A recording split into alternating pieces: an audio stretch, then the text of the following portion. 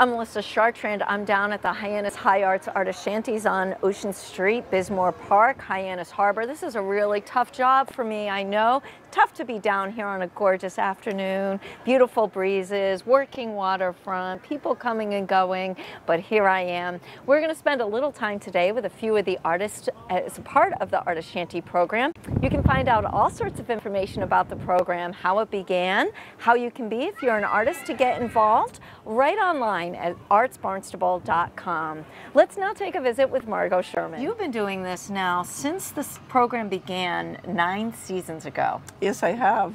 Um, this is my ninth ninth year here. Ninth year here. You've gone from being here for many weeks at a time to several different weeks throughout the season, and I'm sure you've seen the program grow from different artists coming in and the people that come, the area itself that's changed so much, and your work, I'm sure, has changed with these seasons. Yes, it um, it has. the The program is fantastic for all artists.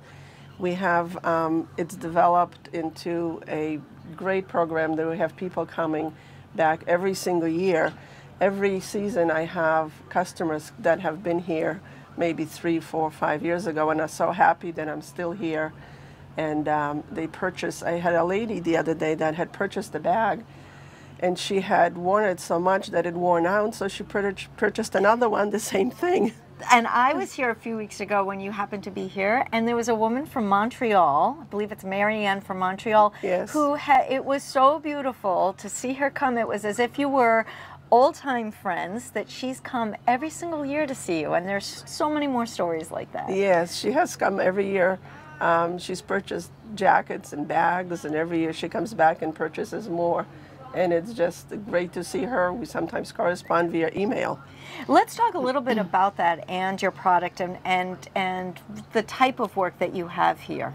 Well, um, I started in the beginning mostly with tapestry product, and as I um, spoke with customers and as the product developed, I switched more into cottons and more into real um, coastal design with sh with shells and hydrangea fabrics and I, I make uh, placemats, runners, and bags. And I love the work and I love being here and meeting all the people that, um, that come and visit.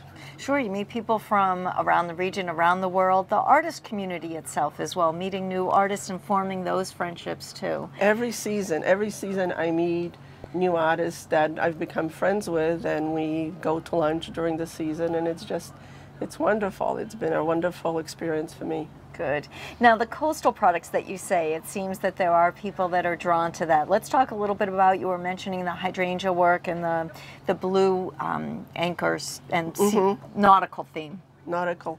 We have, um, I, I basically work with nautical themes, except for the hydrangeas, which are so um, indigenous to this, this, this area. We have them growing everywhere. And so th that's a great product, and I, I can barely make it fast enough to uh, for people uh, purchasing it. And um, and of, of, course the nautical, and I have lighthouses and shells and and um, that type of thing. So let me ask you, Margo, you work right down here. As I said, I was teasing that I can sew. I actually cannot sew at all, so I have such an admiration for that. Let's just briefly talk about where where you learned how to do this. Um, well, I've always loved sewing. When I was a little girl, my mom would make doll clothes and things for me, um, for my dolls. And so I just kind of, I think, picked up from that. I made my children's clothing way back when, and I just started.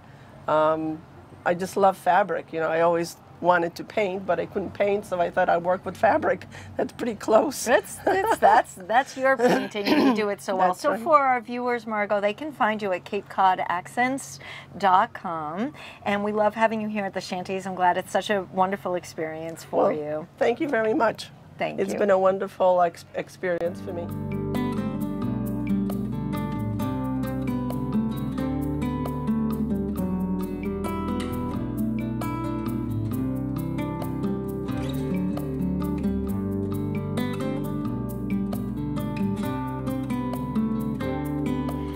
I'm with Susannah Wheelwright, which ties in nicely with the type of work you do. I'm sure I'm not the first one to say that. Spinning Wheel, we're here to talk a little bit about your work today and including some fresh vegetables as well, also locally grown. And I tried some new kinds of tomatoes. That's kind of neat too, Susannah. But thank you for your time today. Mm-hmm. You first came to the Shanties last year, and so I want to talk to you about your Shanty experience, and you're back again. Obviously, it was a positive one. It what was. you find about being in the Shanties. Let's first start with that. Well, uh, you can't beat the view. It's a million dollar view, and everybody who's here is pretty happy because they're on vacation. And a lot of them are really fascinated to figure out what it is that you're doing, um, what what kind of work you're doing. You know, they they see what you're doing, and then and then half of them run in and want to talk to you and ask lots of questions, and the other half sort of, you know, maybe not half, less than half. Some of them keep walking and go on to the jewelry or the fishing boats or whatever they're interested in. So it's it's a pretty like low stress um, high excitement kind of a scene.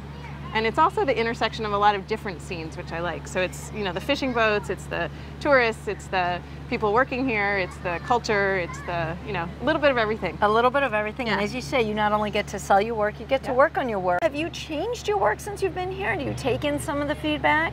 Yeah, I definitely have. Um, and I still am trying to figure out, you know, what people want to see, and and you know, some of it is I think they want to see things that are different that they've never seen before, like new kinds of vegetables or new kinds of soap, because I've seen these soaps, you know, in in gift shops with, you know, felted wool on top, but I've never seen people reusing sweaters. So I was like, why why not try that? At the moment, though, they haven't really sold very well. So you know, obviously, I need to either figure out a different way to market them, or, or, you know, change the product a little bit. So part of it's just trying to figure out prices and what products to show people. Right, which is a big part of our Shanty program Mm. to give the artists an opportunity to figure all of that out. Um, let's talk about some of your rugs here, about. Yeah. the about the product itself and how you make that. Sure. Um, the larger ones I do on a, a loom at home. That's a quite a wide loom. Um, and I can actually do two smaller runners or yoga mats on that loom at home. Um, and that allows me, it's a bigger, heavier loom. It's both wider and I can pack the, the reused fabric in better. I use fabric strips that I cut up um, from fabric that people give me or estate sales or yard sales, that kind of thing. Um, so it's all reused, recycled. Um, and Which is very important to you. it is. That's that's definitely a big part of why I'm here and why I'm doing what I'm doing. I actually grew up being a spinner and a knitter and um, was used to working with yarn and things, and that was very much more about texture, and this is a lot more about color and sort of the ethos of reusing. So I just am, I feel very lucky to get to come in and play with color every day and talk to kids about weaving and how the loom works. You know, I was a teacher in my former life, and so I'm always excited to talk to kids. It also fits in really well with the Massachusetts State curriculum because a lot of the kids have gone to Lowell to go see the textile mills and they want to come tell me what they know about weaving and looms. And I actually had a couple guys stop in yesterday who'd both been to UMass Lowell back when it was Lowell Tech. So I learned that it was a tech school that taught weaving. Who knew? Who knew? And is that you said you've been weaving a long time? Let's talk a little bit about that and Oh, how sure. you started. Yeah, I, I started um, to weave t- about 20 years ago, and I learned in a studio in Vermont. It was um, high school students getting to learn with a teacher, and she was welcoming to to you know other teachers. I was teaching math and social studies, um, and so I, that's where I learned. And then eventually, she gave me a loom that they were culling from the studio, and that's actually the one I have here today because it's my more portable loom. It's very well loved, and lots of people ask about it. Um, and basically, I took a hiatus from weaving for like 10, 15, maybe at least 10 years um, because I, you know, life got in the way. So here I am back again. When I moved to Cape Cod full time, I made the commitment to buy a big loom and work with fabrics and sort of switched up my craft, you know, from the from the knitting, spinning, you know, working with wool to the working with fabric. and here I am. Here you are. It's interesting to see how it's evolved and where it'll take you. And in Yeah. addition to the rugs, let's briefly talk about because you also teach yoga, and let's talk about um, that product line. a lot of folks come through and i would i would you know even people who aren't yogis might like one of these rugs as a as a you know runner for their hallway they're super soft underfoot um, and i've definitely been playing with product wise um, using different materials so both really soft like flannels and jerseys that would soak up sweat for hot yoga or um, are you'd really like to lie on if you're doing shavasana and then also with non-skid materials like the bike inner tubes, you know, that, that don't, don't move when you're doing your downward facing dog. Um, and also um, some of the packaging materials. So, so that's another piece that I've sort of brought in, and I'd love to do workshops too, in which people come and bring their own materials that are special to them and, and design their own yoga mats, and then I take them away and weave them on my loom at home. So it's almost like that's, and yeah. that makes it extra special in that connection Yeah. for that person that's given you a part of them and their materials Absolutely. as well. And what we're excited about too, Susannah, and we talked about, as you mentioned, workshops, and part of the Shanty program here is to see the artists grow and, and be represented elsewhere or Mm-hmm. do other things within the community. And we've talked about having some workshops. So I want to tell our viewers to look in the fall that hopefully we will have you or early next spring to have you doing perhaps some workshops or even teaching some yoga at the Guyer Barn Sure. and elsewhere throughout town. Yeah. So we're just about out of time. Let's tell our viewers how they can find you online. Oh, sure. Um, I have an Etsy site that, that I wish were more updated. Again, I'm going to plead new mom. Um, very little time online. Um, but I have an Etsy shop that's Oh Susanna Rugs. Um, and I also um, have a Google site that's also Oh Susanna Rugs. And, and then you can reach me um, at gmail.com as Oh Susanna Artisan Rugs. Perfect. Thank you. And, and that- and also through our town website, artsbarnstable.com, you can find out all information on all the artists on the Shanty program and all the arts happenings in and around Hyannis and all seven villages of Barnstable. For Susannah Wheelwright, I'm Melissa Chartrand, wishing you an artful day.